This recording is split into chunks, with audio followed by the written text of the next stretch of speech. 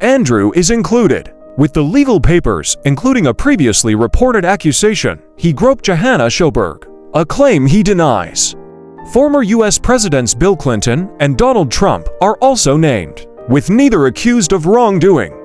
Judges, court staff, and legal representatives are not included. Jeffrey Epstein quote-unquote took his own life in 2019. Yeah, because we all believe that. Without further ado, here's the list. Andrew Albert Christian Edwards, Prince Andrew. James Michael Austrich, Eva Anderson. Juan and Maria Alessi, husband and wife working at Epstein's home in Florida. Janusz Banasiak, Victoria Bean, Rebecca Boylan. Dana Burns, Jean-Luc Brunel, Cate Blanchett. Naomi Campbell, Sharon Churcher. Bill Clinton Bill come on. Again with making the news with regard to something, let's just say off color. What is it you said last time with